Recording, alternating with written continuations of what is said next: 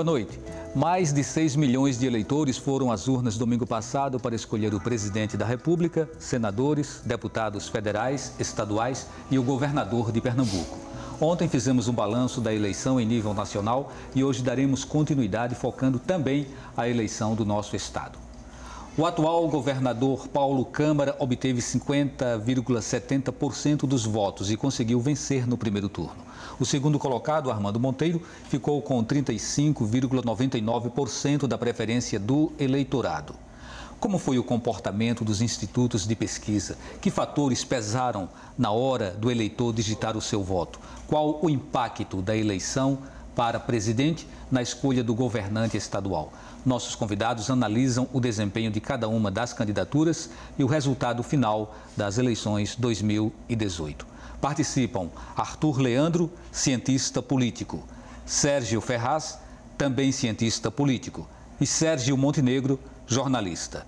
Número do WhatsApp para você enviar perguntas ou a sua opinião, 81 988 307098. Repetindo, 81 988 307098. 98. Queremos, inclusive, dizer que ontem, quem enviou pergunta, a gente não teve condição de atender, porque a nossa rede aqui, a internet, estava com um probleminha. Bem, e você pode acompanhar o programa em tempo real pelo endereço eletrônico www.ufpe.br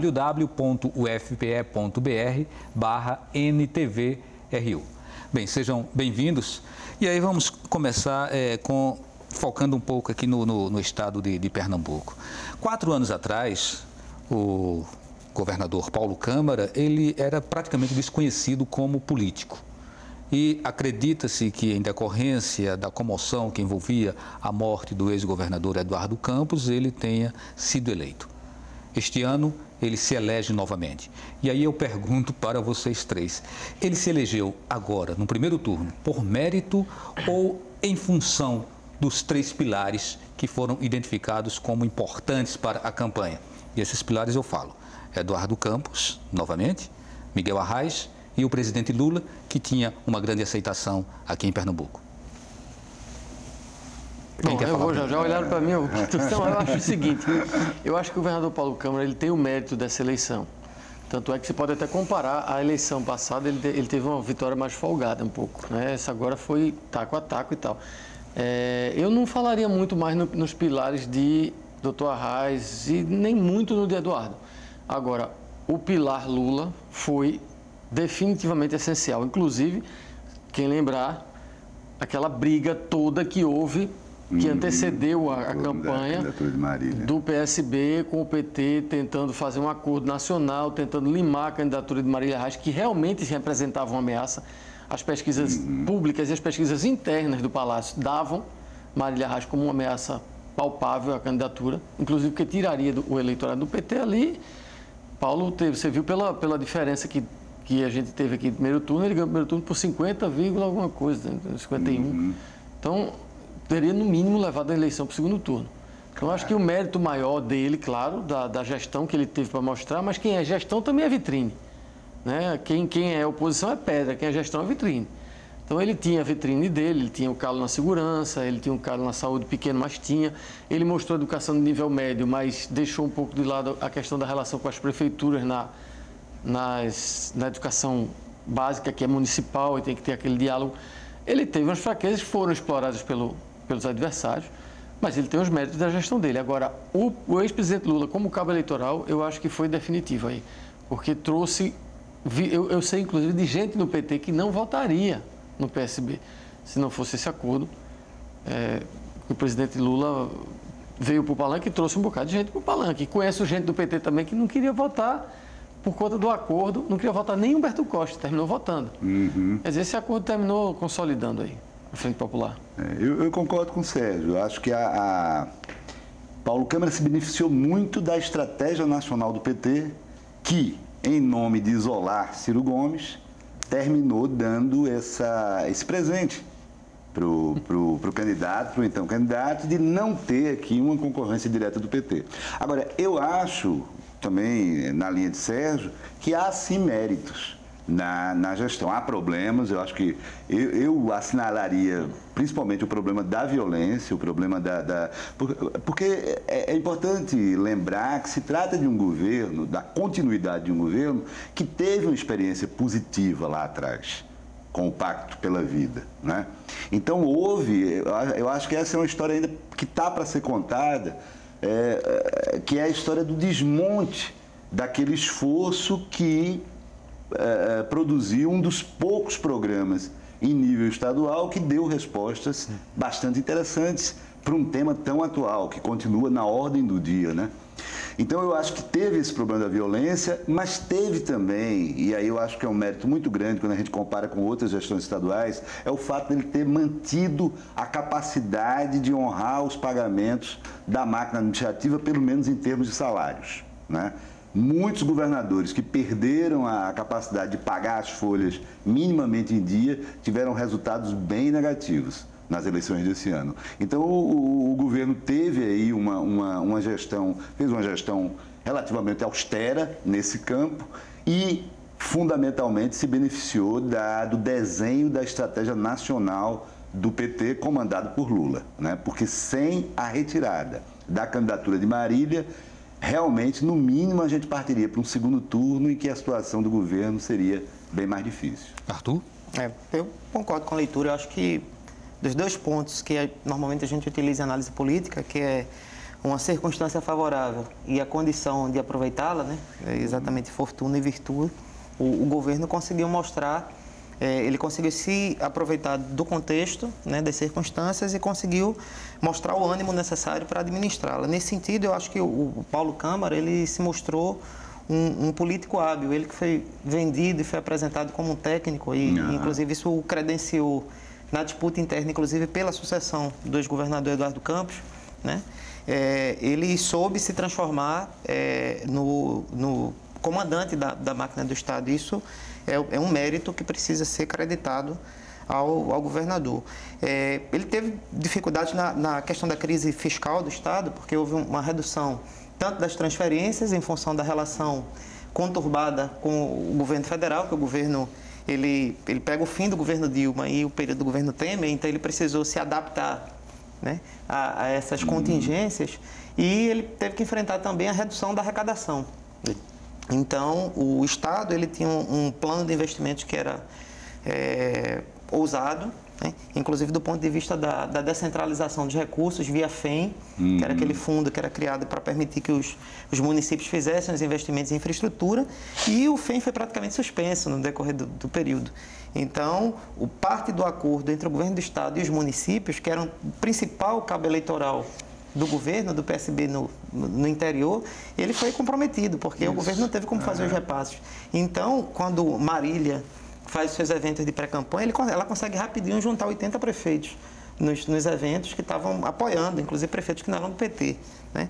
É, e isso certamente reflete essa dificuldade de fazer o repasse de recursos para os municípios fazerem seus investimentos de acordo com os seus compromissos locais. Uhum. E, no entanto, no fim do, do, do governo, né, do, do, governo que se encerra agora esse ano, ele conseguiu fôlego né, fiscal, inclusive folga, para fazer esses investimentos tanto fazer a contratação dos policiais, né? então houve a uhum. nomeação dos policiais, houve concurso para oficiais da PM também, que foi realizado, houve a volta é, dos repasses é, aos municípios. Então, nesse momento, nesse fim de momento, ele, é, junto com o acordo, e foi beneficiado pelo Acordo Nacional do PT com o PSB, Isso. ele uhum. também conseguiu fazer os investimentos em nível local, que permitiu que as forças políticas se reacomodassem em seu favor. Há um momento muito delicado e também muito determinante para o sucesso de uma candidatura, que é onde você estabelece as coligações, onde você faz as alianças. E aqui em Pernambuco, essas alianças elas causaram, inclusive, assim, um, um, um susto em algumas pessoas que viram candidatos que historicamente eram de oposição começarem a se aproximar. Daí nós tivemos o caso de, de, de Jarbas, de repente foi para o lado de Paulo Câmara, é, Armando é, é, continuou opositor, mas Armando passou a levar para o palanque Mendonça uhum. e, e também o, o, Bruno Araújo no Senado. Né? É, é, Marília Reis fora. Então, é, essa conjugação, esse pacto de alianças, até que ponto, ou que estratégias estão por trás? O que é que se pensa? Quem mais influencia? Nesse momento, o, o, o marqueteiro político, por exemplo, ele já se faz presente, ele já começa a dar algum direcionamento ou isso é uma decisão exclusiva do partido? Eu acho que marqueteiro político eh, meio que viu a eleição passar na frente. Primeiro por falta de dinheiro. Isso você fala este ano? É, esse ano. Uhum. Falta de dinheiro, marqueteiro político é um produto de luxo. Né? E segundo porque as, as regras mudaram um pouco, ficaram mais flexíveis, né? graças ao Congresso Nacional super interesseiro que mudou as regras como quis. Mas, é, mesmo assim, a gente teve umas alianças aqui que, mais uma vez, me provaram uma coisa que eu já acredito. O eleitor é tão personalista que ele não se preocupa em ver o que vem depois do nome. Se você colocar Jarbas Vasconcelos entre, entre parênteses MDB, ele não lê aquilo não. Ele lê Jarbas Vasconcelos. Porque hum, entre as alianças esdrúxulas que a gente viu aqui, vamos refrescar a memória, foram oito anos de Senado com Jarbas na tribuna batendo impiedosamente no governo Lula e levando porrada de volta de Humberto Costa hum, e companhia. Exatamente. Jabas no palanque com Humberto Costa fazendo um L. o eleitor não tem memória alguma, então ele é aqui, eu quero votar em Jabas e acabou. Humberto Costa do outro lado. Humberto Costa falou o que cobras e lagartos de Jabas. E de repente está Humberto Costa numa foto, os dois bracinhos levantados assim, e Paulo Câmara no meio. Quer dizer, é uma coisa que para o eleitor ou, é desmemoriado, e aí se aposta muito nessa, eu chamo de, eu chamo de amnésia eleitoral e também aquela coisa do personalismo político. Eu quero votar em pessoas. Eu não vou mais votar em partido, porque os partidos não valem mais nada. Está aí um Congresso que tinha 25 partidos, agora vai para 30. Uhum. Essa fragmentação de bancadas ali só vai dificultar mais a negociação, do, o balcão de negociação que vai ter que ser feito. Mais uma vez, graças a Deus e ao eleitor, não a Deus não, ao eleitor, a, aquela estimativa que a gente fez de 30% no máximo, no teto, batendo de renovação no Congresso, avançou, né? Avançou. Fomos para 50,1%, já é alguma coisa. Renovação. Mas foram mais bancadas, mais partidos, ainda tem mais uns 60 pedindo registro aí. Quer dizer, quando você vê Armando Monteiro, que era um lulista antigo, tradicional, apesar dos adversários insistirem que ele não era, ele era, o pai dele era, né? O Armando Monteiro, pai, era aliado de Lula uma ligação histórica. E fez, fez questão de ir no comício de Dilma aqui de cadeira, botaram a cadeira para ele no palanque, para ele ir e tal. E o Armando sempre teve essa ligação. Teve que abafar a ligação depois disso aí. Agora, para ele, foi até um alívio que o Lula não foi candidato. Porque uhum. ele, como é que ele ia defender Lula num palanque com o ministro da Educação de Temer e o ministro de, da cidade de Temer? Um de cada lado. É impossível. É, o eleitor vai enlouquecer com isso, amigo. Essa, essa incoerência ou contrariedade da política, ela é justificável? Ela é inerente à política? Sérgio Ferraz? Veja, é a, a atividade política é, é, basicamente a atividade de composição, em certo sentido, né? É, eu me preocupo muito quando as pessoas olham para a política e tentam condenar a, a, a negociação, né? O entendimento, eventualmente a junção de partidos que são diferentes. Né? Como os políticos não cansam de, de repetir, nisso eles têm razão, aliança se faz com quem é diferente da gente. As alianças são heterogêneas. Em qualquer país do mundo, em qualquer país do mundo que tenha pluripartidarismo e que não se tenha um partido que faça maioria nos legislativos, partido que suporte o executivo não tem a maioria do legislativo, é inevitável que para se fazer um governo estável, para que se produza uma mínima governabilidade, é inevitável que se façam composições, alianças. Podem ser mais ou menos transparentes, podem ser mais ou menos é, próximas ideologicamente, podem ser mais ou menos discutidas em termos programáticos, mas esse mecanismo de junção de parceiros para a produção de um governo com suporte legislativo, isso é um fenômeno que a gente encontra em praticamente todo canto. Ainda, exceção, que haja, ainda que haja um racha no meio do caminho, né? Ainda que hajam rachas, recomposições, rompimentos, né? Talvez com exceção da Inglaterra e dos Estados Unidos, que são sistemas os Estados Unidos, principalmente bipartidário, a Inglaterra andou ensaiando um terceiro partido, mas voltou a ser bipartidário. A exceção desses dois e mais alguns poucos exemplos, se você pega a maior parte dos países do mundo, são países em que você tem essa coalizão. Então, é, é, eu acho que é importante a gente, a gente ter clareza disso e não confundir isso com corrupção.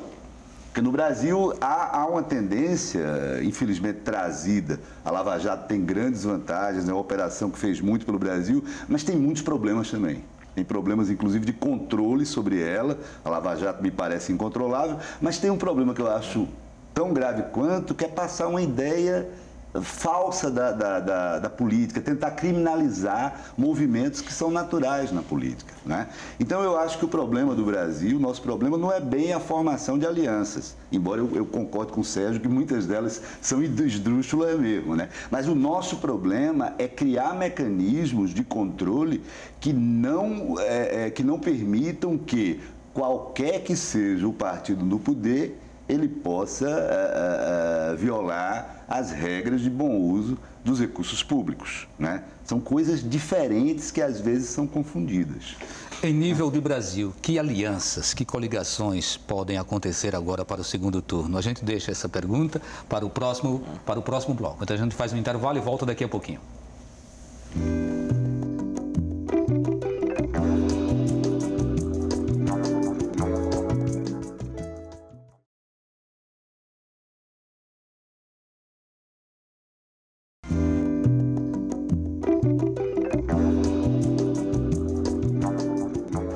Opinião Pernambuco está de volta com uma análise da eleição 2018 em Pernambuco e no Brasil. Participam Arthur Leandro, cientista político, Sérgio Ferraz, cientista político, Sérgio Montenegro, jornalista. Número de WhatsApp para enviar perguntas ou opinião 81 988 30 7098. Bem, a gente iniciou no final do segundo bloco uma discussão sobre coligações, sobre alianças, e eu deixei a pergunta no ar, né? Como fica isso para o segundo turno das eleições presidenciais? E aí quem começa respondendo é você, Arthur. Ok. É, eu, a pergunta que você coloca, é, vinculando a, a, conversa que a gente estava tendo no bloco anterior, sobre é, a condição e a realidade dos partidos, né? É, essa foi a primeira eleição que a gente teve em que as, os efeitos da mini-reforma do ano passado, eles começaram a ser sentidos. Em particular, é, as questões referentes a, a, aos 10% mínimo que cada parlamentar tinha que ter é, do, do coeficiente eleitoral para que ele pudesse ser habilitado a uma vaga e aos dispositivos da cláusula de barreira, uhum. né? o que é, permitem uh, um ajuste, mesmo que seja um ajuste matemático e de sobrevivência dos políticos, mas de aglutinação dos parlamentares dentro das legendas que conseguiram passar a cláusula de barreira. Então, é, basicamente porque as legendas pelas quais alguns parlamentares se elegeram, eles não vão dispor dos mesmos recursos políticos. Não, vai ser anulado, né? Então, ele, ele não vai ter como sobreviver, então os parlamentares eles estão à janela para migrar para outras legendas. Então, a tendência é que no médio prazo a gente tem um número de partidos que reflita as tendências e os blocos que efetivamente vão negociar com o executivo. Exemplificando para quem não, não viu e não uhum. entendeu a cláusula de barreira ainda, por exemplo. A cláusula de desempenho. É, desempenho que a gente chama. Nessa nova armação que vem aí do plenário da Câmara, por exemplo, que, que vai assumir em 2019, uhum. a rede de Marina Silva, por exemplo, encolheu, só tem um deputado eleito. Uhum. Né? É, o PCdoB encolheu, não passou dos nove, tinha que ter pelo menos nove deputados na Câmara para que você continuasse recebendo fundo partidário, tenha tempo de televisão na próxima e eleição rádio, e tal, que é calculado em cima da bancada da Câmara. Hum. Os partidos que fizeram até oito, eles vão perder todo o financiamento partidário, não vão ter como se sustentar e não terão tempo de TV. Qual é o candidato que vai querer continuar no partido desse? Então, uhum. é, é, parece, uma, parece uma coisa meio rigorosa demais, mas não é. A cláusula de desempenho é exatamente para isso, para encolher o número de partidos, dar um, dar um, um, tom mais ideológico aos partidos, que é uma coisa claro, difícil claro. no Brasil, né? E aí, quando, quando abrir essa janela, a gente vai ter uma rearrumação lá no plenário. É, a gente né? teve, pelas contas que vocês estavam fazendo, que eu estava olhando aqui também antes, são 30 partidos, me Agora são representação, uhum. mas tem 14, ou são 12 ou é, 14 que não, passaram que não conseguiram esse mínimo que uhum. vocês estavam falando. Então, o que é que vai acontecer? A lei libera a, a, que o deputado, que o parlamentar possa migrar para outro partido sem punição, Isso. o parlamentar eleito por uma dessas legendas, e essas legendas, para sobreviver, podem, uh, vão provavelmente se fundir com outras, ou algumas vão simplesmente desaparecer. Uhum. Eu não creio que a rede e o PCdoB desapareçam, não, não porque são partidos são que têm alguma tradição. Mas os partidos de aluguéis, sim. Uhum. Então, como estava é, se dizendo aqui, a gente caminha aí no médio prazo para ter, digamos assim, uma, uma normalização da situação de fragmentação no mas, parlamento brasileiro. Mas com esse percentual de 1,5%, Sérgio, é muito pouquinho. Mas vai, vai para 3 daqui a, em 2028, é. né? Mas você veja, Sérgio, que sem muito isso pouco. a gente ia manter os 30 Era partidos. pior, ia, a, fisiologia ia ficar né? avançadíssimo aqui. Então, existe um, um cálculo que, que se faz dentro de um conceito da ciência política, que é o número efetivo de partidos, né? e que no Brasil esse número oscila entre 9 e 11 partidos. E a, a cláusula de desempenho no médio prazo ele deve fazer uma convergência nesse sentido, o que ainda é muita é, é muito muito campo de representação para uma sociedade claro. contemporânea. Né? É que você... Falta ideologia para partir, muito partido é, para pouca ideologia. Né? Então você tem blocos partidários é. que podem ser dispostos dentro de um espectro, a partir do padrão de votação, a partir de estratégia de acordo de, de ser oposição ou situação em relação ao governo. Uhum. Então, eu acho que existe espaço para essa reestruturação partidária e a gente, essa eleição mostra o primeiro passo nesse sentido. A gente ainda tem efeitos, e, e eu acho que isso traz exatamente para a pergunta que você apresenta nesse bloco, é, da, da, nosso, da nossa tradição política de ser muito baseado em pessoas, né? Uhum. Ser baseado em personalidade. Você tem indivíduos que estruturam, que fazem com que o sistema político orbite em torno de si e que isso é construído a partir de uma relação com o eleitor, com o cidadão. Hum. É, agora, sendo bem direto, é, Jair Bolsonaro e Fernando Haddad vão procurar quem e quem vai procurar Fernando Haddad e Bolsonaro? Olha, eu vou, eu vou te dizer, quem sou eu para dizer alguma coisa numa estratégia presidencial? Mas se eu fosse Fernando Haddad, eu já estava sentado no colo de todo mundo aí que fosse, pelo menos que tivesse uma tinturazinha de, de centro-esquerda. Uhum. Porque o que a gente tem visto é uma, é uma Fernando Henrique Cardoso.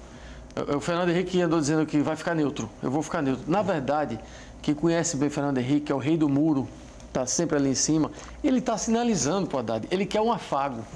E Haddad não fez. Deveria fazer. Vai lá e procura homem. Sabe por quê? Porque a quantidade de fisiologistas que estão procurando Bolsonaro, sabendo, inclusive da questão da, da cláusula de barreira, porque partido de aluguel que vai sumir, Claro que vai buscar abrigo no governo. A doença do governismo é grande no país. Você vai para o governo que você tem mais benesse. O partido, o, o, que tem mais ideologia, não. Ele fica lá, vou para oposição, vou fazer oposição coerente. O Haddad, ele deveria já estar procurando mais uhum. gente. Né? Eu não sei se está... Eu estou falando, eu sou um grão de areia que não, não posso estar falando, mas é, é uma atividade rápida porque nós temos 20 dias só de segundo turno. Né? Enquanto isso, o Jair Bolsonaro não está precisando procurar muita gente. Hoje mesmo a gente viu o João Dória favorito para ganhar o segundo turno na maior, no maior estado brasileiro, que inclusive é um país dentro do país, já procurou Bolsonaro. Uhum. Alguns candidatos, na reta final do primeiro turno, faltando uma semana, se abraçaram com Bolsonaro e conseguiram garantir a eleição. Então, é um fenômeno difícil, doloroso, meio incompreensível, absolutamente condenável, porque o Jair Bolsonaro não tem nada que preste, na minha opinião. Nada, nada, não tem uma ideia que você diga, isso se aproveita. Porque tudo que está embutido naquela ideia de Bolsonaro tem um, por trás uma má intenção. Você olha para a cara do cidadão, você vê que ele não está falando sério. Quando ele consegue falar, porque ele é muito difícil também de, de, de dizer as ideias dele. Então, tudo ali gira em torno do fisiologismo, do, do, do empoderamento pouco representativo. A sociedade caiu nessa conversa. Né? E, e caiu e, e continua caindo. Então, cabe a Fernanda Haddad correr atrás agora. É, eu, eu, diria, eu iria até além, concordando com o Sérgio, mas eu diria que a Haddad teria que buscar a esquerda, o centro e um pouco e da a direita. direita. É, a direita é consistente. Contanto consistente. que é, esses vários é, personagens desses distintos espectros se façam fiéis à tradição democrática, à tradição constitucional, à ordem que tanto nos custou a construir. Que né? é algo que, o, Fernando, que o, o, Jair Bolsonaro ameaça. Aquilo é uma ameaça. E eu acho que a gente tem que ser claro nesse momento. Né? Há um discurso... Isso, isso, isso deve sinalizar uma reaproximação entre PT e PMDB, por exemplo? Olha, não, não organicamente, porque o MDB, como sempre, vai se dividir.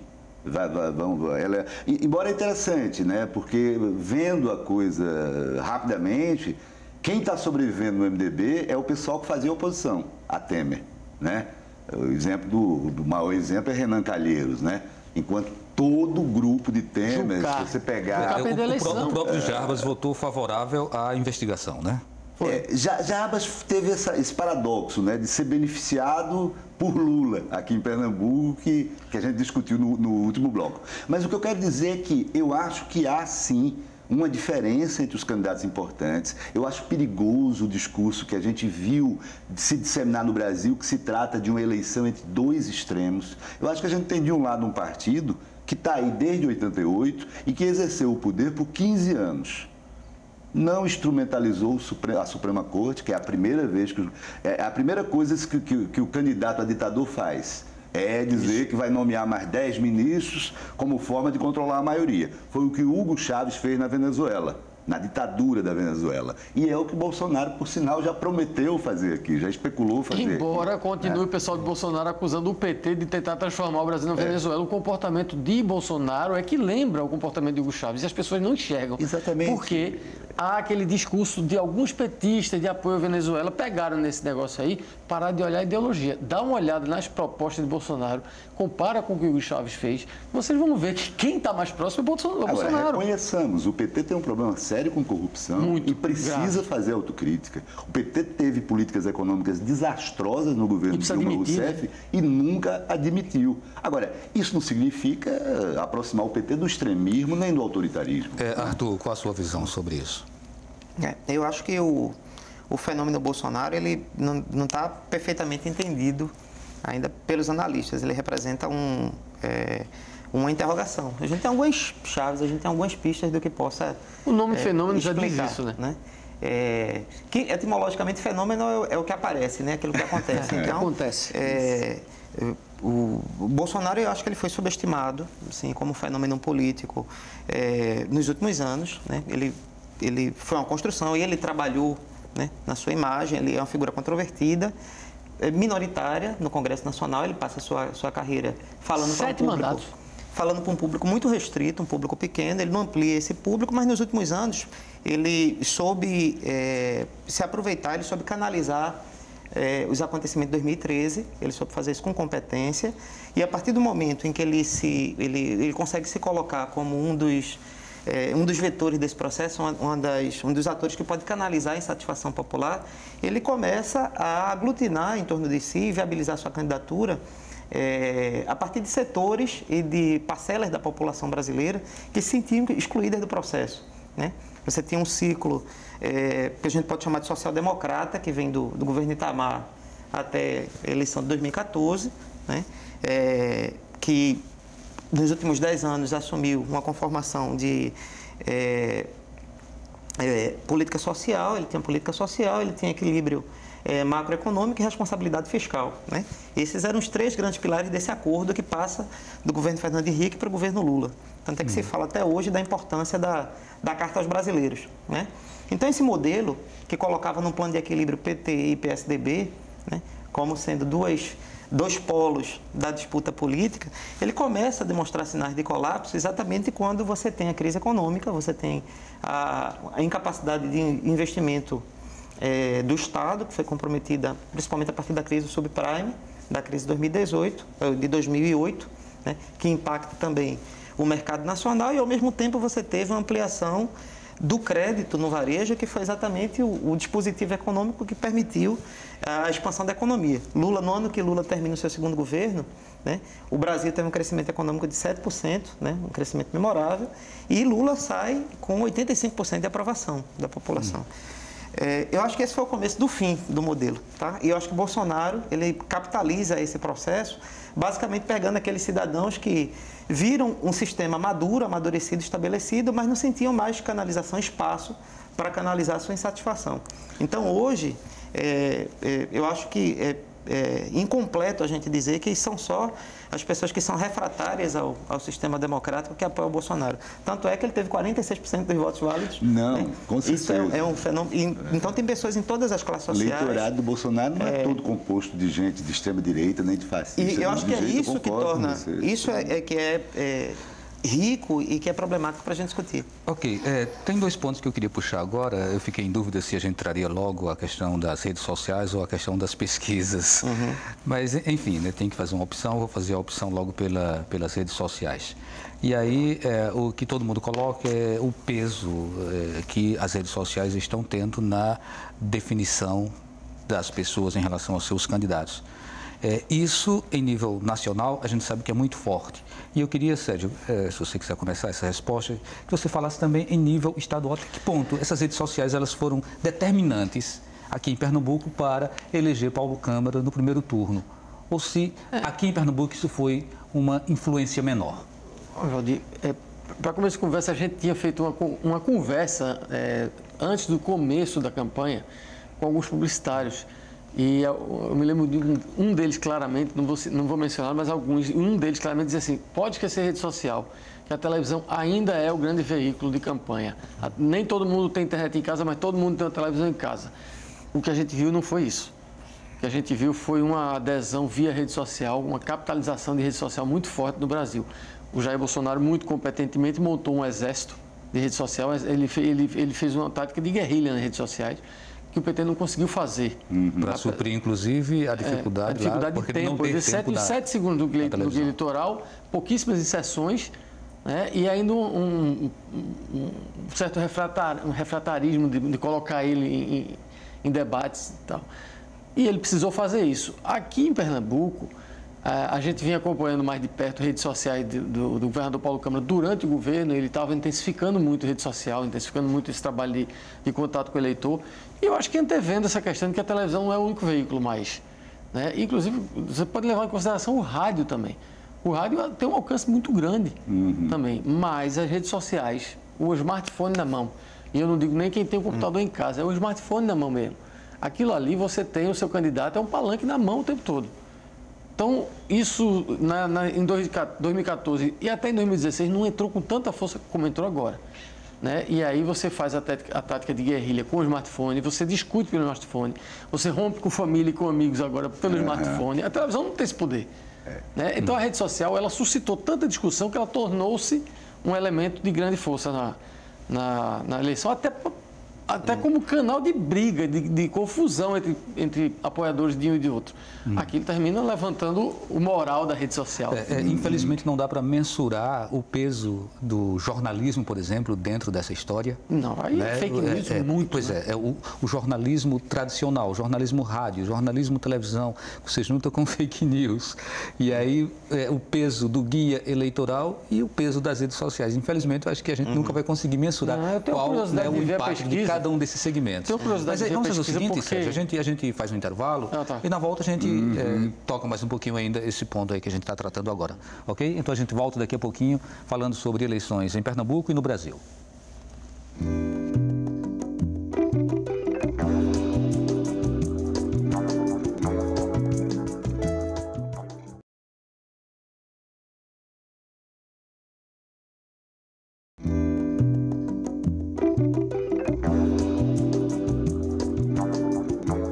Opinião Pernambuco está de volta com uma análise da eleição 2018.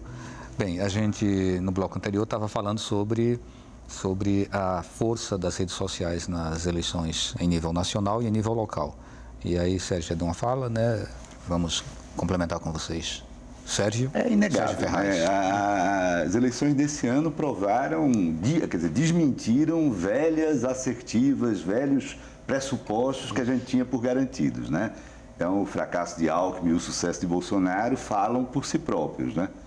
É, agora, eu acho que a gente tem que ter um olhar crítico para esse negócio, porque é, eu acho que a, a, rede social no Brasil, é, repetindo a, a, um, um destino que parece ser internacional, é terreno fértil, como a gente sabe, para mentira, para distorção, para o viés. Né? É muito menos informação e é muito Tem muito elemento de manipulação.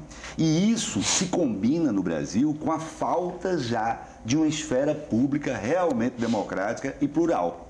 Né? Eu acho um pouco que a gente discutiu no bloco anterior, né, as razões de por que a gente chegou a isso. Eu acho que começa muito uma interpretação que se fez do Brasil, do sistema político brasileiro, da própria trajetória desse país. Porque é, é, é, tudo começou a ser passado para a população como se tudo estivesse podre como se nada prestasse, como se tivesse que se passar a limpo completamente. Gente, se a gente pegar esse país de 94, quando, quando Fernando Henrique consegue vencer a inflação, até 2010, quando há o esforço de inclusão social dos governos petistas, a gente só fez melhorar e melhorar num ambiente democrático e num ambiente de liberdade. Então é como se a gente pegasse esses, é, é esse, um, um, período aí de quase 20 anos, de, de mais de 20 anos, que eu posso trazer isso pelo menos até 2013, e jogasse na lata do lixo. Eu acho que a gente começou esse problema quando, infelizmente, o PSDB resolveu contestar o resultado eleitoral de 2014. E aí, só fechando, que a rede social, a meu ver, ela, ela se combina negativamente com a falta de um debate mais plural, em termos de grande mídia. Né? E mais profundo, mais denso. Mais, né? mais profundo, que pudesse, inclusive, interpretar essa crise de uma maneira menos pautada por um discurso que foi gerado pela Lava Jato, pela TV Globo e porque ele queria derrubar o governo. E aí se esquece todo o progresso. É, é, o progresso esse proporcionado, eu quero deixar bem claro, pelo PSDB e pelo PT. Não é um discurso petista, é entender uma continuidade, continuidade como certo. vocês mesmos o, tinham o, falado. Né? O, o, Mauro do Jardim São Paulo, ele traz a seguinte questão. É, boa noite, o Congresso teve uma renovação de 40%, porém continua bastante conservador e reacionário. O que os convidados acham disso? A gente poderia passar essa resposta inicialmente para você, Arthur? Sim, eu, eu acho que a composição do Congresso, não só a composição do Congresso, mas o padrão de votação do primeiro turno, ele reflete o, o conservadorismo típico do eleitor médio. Assim, eu acho que e isso tem um pouco a ver com esse, essa reflexão sobre redes sociais, né? Se a gente pensa na, na estrutura convencional de comunicação política, a gente tem os veículos, os principais veículos de comunicação, TV, jornal, etc. E você tem uma elite que filtra e que produz esse conteúdo, pensando os grandes problemas do país. As redes sociais, né, eles meio que é, modificaram essa, essa relação quando o cidadão com smartphone, ele encontra entre, na maré de, de informações verdadeiras ou falsas, né, mas de registros que circulam ali, ele encontra aqueles que mais parecem com sua visão de mundo e compartilham. Então as pessoas, as pessoas que se sentiam é, é, inconformadas ou apartadas ou excluídas do debate político encontraram pela possibilidade de uhum. compartilhar um canal, né, para reproduzir, para construir identificações. Isso casa direitinho com o processo que a gente tem de declínio das identificações partidárias. Então é mais fácil você identificar uma pessoa do que identificar um partido. Né? Eu acho que o Bolsonaro se beneficiou muito desse processo. Agora, o, a mudança do... Coisa, mas as fontes seriam pulverizadas, então, de produção de conteúdo para as redes sociais? Porque o que a gente ouve falar é que existem fontes bem centralizadas produzindo isso. Uhum. Pelo que você diz aí, é como se houvesse uma pulverização de atores produzindo conteúdo para a rede social. É, eu, eu penso não em termos de. Eu, você, a sua análise é muito rica e explica o lado da oferta da é, produção de material. eu estou tá pensando do lado, exatamente, o lado do, do usuário, da notícia, né? né? O consumidor, como é que ah, o consumidor vê? Porque é o consumidor que vota. Né? O cara que reproduz material, que lê aquela notícia que pode ser verdadeira, é ele que vai votar. Uhum. Então, esse eleitor, ele se sentiu empoderado, ele se sente empoderado nesse novo ambiente e sentiu canal de identificação para as suas aspirações medianas. Então, a, a discussão, por exemplo, que hoje ele está muito presente nos grupos politicamente organizados, as discussões identitárias, por exemplo, de gênero, de raça, etc. O cidadão mediano, ele não se sente identificado com essa discussão. Né? Uhum. Então, o eleitor ele está preocupado o quê? Está preocupado de sair com o celular dele, mais uma vez o celular, vai para a parada do ônibus e é assaltado. Uhum. Então, Sério? ele entende muito rapidamente uhum. o problema da segurança pública. Aí. Uhum. Sérgio, é, é, vamos trazer essa, essa reflexão aqui do Mauro para o caso de Pernambuco. Né? Ele fala de um congresso uhum. é, reacionário, é, conservador. É, a representação de Pernambuco lá também ela coincide com essa provocação Mas, do Mauro. Sim E, e, aí eu vou, vou, até ampliar. A gente teve uma renovação. Isso, isso mesmo Pernambuco e o Nordeste é, parecendo o no primeiro momento como tendo hum. um posicionamento político é. diferenciado em relação é, ao resto até mais à esquerda, né, como a gente viu. A gente, o Mauro falou em 40% no Congresso, na verdade, Mauro, são 50%. No, no, no cômputo geral dos votos foram 50. Foram mais partidos e uma renovação maior. Não só porque gente que perdeu a eleição, mas gente que foi para outros cargos. Na Assembleia Legislativa aqui, chegou perto, no 47% de renovação. Uhum. E na bancada federal pernambucana o índice caiu. É menor a renovação na bancada federal. Isso graças também à questão da distribuição do fundo partidário, da, da pouca, da pouca chance que dá para os, para os estreantes Campanha e tal. Curta, né, Campanha né, curtinha, os caras já têm base, o estreante não tem.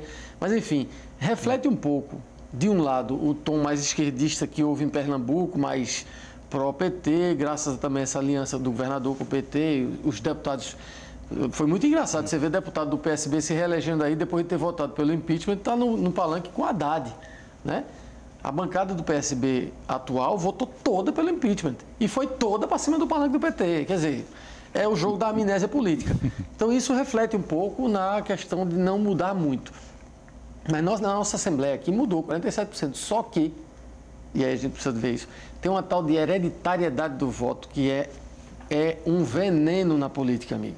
Nós temos hoje 13 eleitos na Assembleia que representam o papai, o tio, o vovô que estavam na política. Quer dizer, o cara já sai para outro cargo e bota o filho aqui. Aí ele, em vez de dominar só uma área, ele domina duas. Hum. E aí ele, ele, em vez de tirar um espaço de um, ele tira de dois. Quer dizer, a hereditariedade do voto é uma das coisas mais nocivas que eu já vi na vida. E aí esse, se criou. Esse mesmo curral, ele serve para eleger Tipo, na instância federal, federal na instância estadual, estadual. municipal. Então, o, cara, faz, o cara é prefeito, faz da mulher prefeita e ele vai ser deputado, faz do filho vereador, depois joga para federal agora, e traz estadual. Agora, é um negócio impressionante. Mendonça não conseguiu eleger nem o filho nem a irmã, não é? Isso. Mas é, é mas é uma, uma, um bom exemplo do que Sérgio falou, só que fracassado. Fracassado. Uhum. Mas é exatamente Mas ele tentou. Ele tentou pegar todos ele os ambientes. Ele saiu do federal, tentou botar o filho para federal no lugar dele né? E tentou estadual, inclusive, ele, Mendonça era muito ligado a Priscila Krause. Ele, de certa forma, deu uma atrapalhada na campanha de Priscila no momento que ele botou a, a irmã Andréia também para disputar, porque era a mesma linha de disputa uhum. dos dois.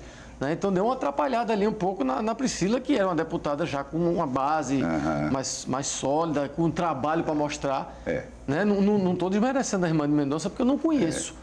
Mas é, era disputando na mesma, na mesma linha, né? Na mesma linha. Então, vamos lá, vamos passar mais pergunta. Tem Roberto Uchoa. Eu gostaria que comentassem sobre a votação para Senado Federal e sobre a grande novidade em Pernambuco, que foi a eleição das juntas à Alep. Uhum. Roberto Uchoa. É, Sérgio ou o Arthur, Eu acho que a, a, junta realmente foi uma grande, uma grande novidade nessa, nessa eleição. Uma candidatura é, compartilhada, né? Foi a, a, construção, acho que a, a concepção do, do, da proposta ela foi muito bem pensada é, ela foi perfeitamente recepcionada pelo modelo institucional que a gente tem, que é uma pessoa só que, uhum. né, que é investida no cargo, que, que é titular do mandato. foi Jô, não é isso? Mas não Exatamente. tem o poder sozinha. Né? Mas, é, a, a, campanha é um... ela foi apresentada como sendo uma campanha compartilhada e isso é, ele representa uma inovação dentro do formato partidário que a gente tem de representação. A junta foi tão bem sucedida, inclusive, que passou na frente dos dois nomes que estavam que supostamente Isso. entrariam na frente exatamente. no PSOL, exatamente o Edilson e o Áureo, né? Uhum. As juntas conseguiu passar na frente. Elas foram beneficiadas dos votos de Edilson e de Áureo. É, nesse sentido, eu, eu penso no, no, no, que Sérgio trouxe aqui sobre a, a irmã de Mendonça e a Priscila Krause. Né? Eu acho uhum. que, do ponto de vista do acordo na composição da chapa, é o seguinte: eu, eu coloco minha irmã, Priscila, vocês vão se ajudar né? Porque o voto de uma soma para outra. Se as duas conseguirem, passam as duas. Mas pode né? dividir. Mas né? a ideia é. Não, e, e, uma das formas de somar é dividindo nesse caso, porque a base de Mendonça é basicamente é a região agreste, ele pega ali de Belo Jardim até uhum. Arco Verde. E ele, Priscila mais para cá. E, pra, e, Priscila não tem voto naquela uhum. região. Então, eu, eu, acho que o acordo, parte do acordo foi nesse sentido, assim. E é, eu, acho, eu vejo que a Juntas ela, ela foi uma novidade. E a eleição do Senado, ela não representa é, uma grande surpresa, né? Basicamente porque o, o governador ele teve a habilidade de trazer todo mundo que podia para o seu palanque. Né? Nesse sentido, a movimentação é, de Mendonça e de Bruno Araújo para a chapa de Armando não foi exatamente uma escolha, mas foi o que sobrou. Né? Quem foi atropelado foi Silvio Costa. Considera... É, Silvio Costa que ficou. Por conta exatamente Silvio do desmoronamento pretend... lá da candidatura de Marília. Ele pretendia, Silvio Costa, na verdade, ele pretendia ser a voz de Lula no, né? A voz defensor do governo Lula e do governo Dilma Se você for para a que... questão de, de, de, manutenção de linha, de fidelidade, Silvio Costa não mudou de lado. Pois é. é? Ele vem defendendo desde o governo Lula, Dilma e tal, e continua nessa linha. Outros se adaptaram, é. como disse Sérgio aqui, faz adaptações para compor as alianças e Silvio não precisou. Hum. Ele o foi grande, na mesma linha. O, a grande no entanto, questão... elegeu o filho, né? É, elegeu o filho. A grande questão é que tinha aqui em Pernambuco, né, na pré-campanha, na pré-campanha, a gente tinha Paulo, que se dizia governador de, de, Lula, candidato de Lula, Armando, que era governador de Lula, Lula, e você tinha a Marília Reis, que era de Lula. Então, não sobrava Lula para Silvio Costa. É né? verdade. Faltou Lula, todo mundo era de Lula. Né? É, na verdade, a gente, teve, a gente teve dois grandes eleitores nessa eleição, digamos, Lula no Nordeste e Bolsonaro no resto do país. Esse mesmo fenômeno de aderir ao grande eleitor, a gente está vendo são Paulo, já João Dória no primeiro turno, uhum. né, já descambava para o lado de Bolsonaro, deixando o, o Alckmin, o candidato do partido dele, de lado, né? Cristiani, Cristiani, cristianizou, cristianizar o Alckmin, né? Aliás, hoje e... Alckmin deu o troco numa reunião do PSDB lá bem, chamou bem de traidor. nível, o nível foi lá embaixo, foi traidor, canalha, por aí. É, mas eu queria só chamar a atenção para o fato de que a representação legislativa, ela espelha uma sociedade muito desigual.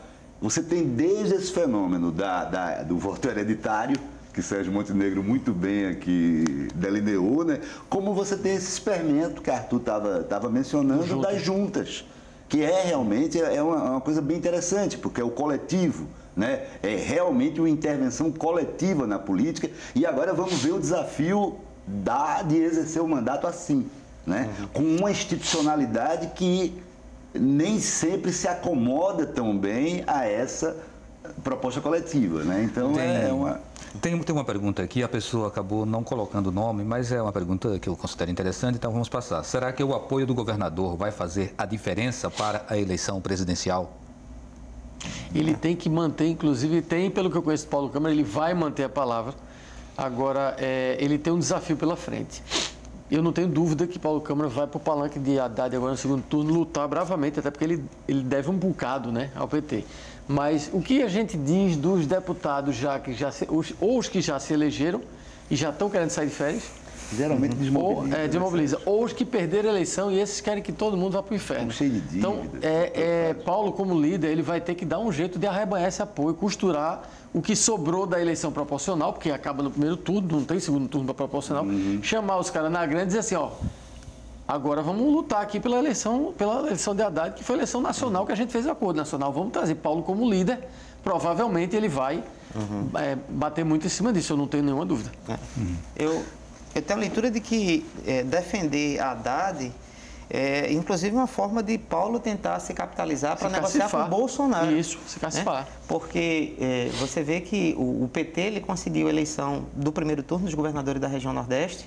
O PT já está na base de Haddad. Né? Uhum. E o PSB é um ator fundamental na construção de um apoio nacional. Que ficou livre, então, né, inclusive. Paulo precisa se credenciar como liderança nacional do PSB, que esse, essa condição, esse posto ainda não foi substituído. É, ainda né? não tem, está vago. E ele precisa ser, exatamente, Paulo, né? é, e ele precisa ser a voz do PSB no Nordeste, exatamente porque é o apoio do Estado de Pernambuco que precisa para viabilizar qualquer governo na região. Hum. Então, se for um governo Haddad e o PSB, a presença do PSB é estratégica, meio que reproduzindo o que aconteceu com o Eduardo, uhum. e se for um governo Bolsonaro também, porque Bolsonaro não vai ter o apoio de governador do PT na região. Então, Paulo precisa lutar por Haddad, porque se ele tira o corpo fora, ou se ele apoia numa situação improvável, se ele declara apoio a Bolsonaro, que ele não vai fazer, né? ele perde o capital político que ele conseguiu hum, amealhar. Então ele perfeito. tem que apoiar a Haddad, ele não pode se eximir dessa disputa. É, eu queria trazer mais um pouco ainda uma reflexão sobre é, esse, essa expressão, essa, essa votação expressiva do, do, João Campos, né, 24 anos, e de repente ele vai para a Câmara Federal. Aí você tem Marília também, que chega pela primeira vez na Câmara Federal. Você tem o retorno de Renildo Calheiros, que foi muito criticado como prefeito de Olinda, mas ele retoma um, um mandato que ele já tinha exercido em situações anteriores. E Carlos Veras, né, que era do Sindicato dos Bancários, né? e de repente ele aparece também como um, um, um novo representante, um novo parlamentar na Câmara Federal. Quer dizer, que análise a gente pode fazer disso aí? Você viu que você só citou gente de esquerda aí até agora, né? Pelo menos de centro-esquerda. É, eu, eu, quero falar Sim, de, então esquerda vamos... e de direita também, se puder. Pois a gente é. pode dividir aqui. É. Não, Vocês querem me dar direita ou esquerda? Não, eu só ia comentar uma coisa rápida para deixar para vocês. É, o fenômeno João Campos é diferente do de Paulo. O fenômeno João Campos teve Eduardo Campos. O de Paulo teve menos. Uhum. Mas o de João, certamente. Agora, eu vi João em ação, em algumas vezes no interior, e assim, o carisma do menino é muito parecido com o do pai, até por conta de herança. Né? Então ele chega, é multidão atrás, aquela coisa toda. Agora vai precisar amadurecer discurso, vai precisar ainda muita, muita estrada pela frente. Uhum. Mas ele teve esse pilar Eduardo aí. E claro, Marília também teve. Marília é. teve o pilar Raiz uhum. também. O sobrenome, a identificação. É. Uhum. São dois arrais, né? É, de certa forma, sim. O, o Antônio Campos, que também é, é, do lado, teve menos de 4 mil votos. Não conseguiu e em cima desse, desse mesmo legado. Então, ele também não tentou tanto. Marília tentou muito, uhum. João nem precisava dizer, né? Uhum. Ele, ele, talvez ele tivesse acreditando na herança dos votos de Olinda, né? Que ele foi para o segundo tá turno com o Lupes. Você falou em de Olinda. Sim, vamos lá, para, para, para os da direita, né? Da direita, eu acho Só que, tem um minuto agora, viu? É, eu acho é, interessantíssima a eleição de é, Luciano Bivar, né? É, Bivar ele fez uma, uma, campanha diferente, que ele, ele não normalmente o fluxo é a liderança local, apoia o deputado, o deputado governador, e o governador se vincula nacional. Mas é, ele foi colado em Bolsonaro. Ele, né? fez o contrário, né? Ele fez o contrário. Ele disse, ó, é, 17 duas vezes, né?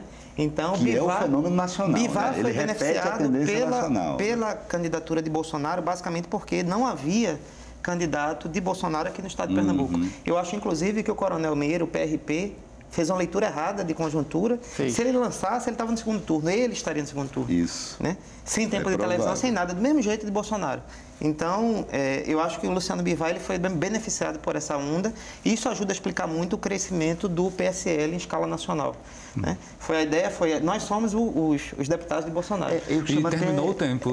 É, é, se for uma frase só, a gente... É, é interessante que o eleitor votou racionalmente nesse sentido. Quer dizer, ele, ele vinculou o Bolsonaro, que a gente já esperava o avanço, com o apoio legislativo a Bolsonaro. Ele fechou a, fechou a, a chapa. Ok, ok. Então, muito obrigado, Sérgio Montenegro. Obrigado, Sérgio Ferraz. Obrigado, Arthur.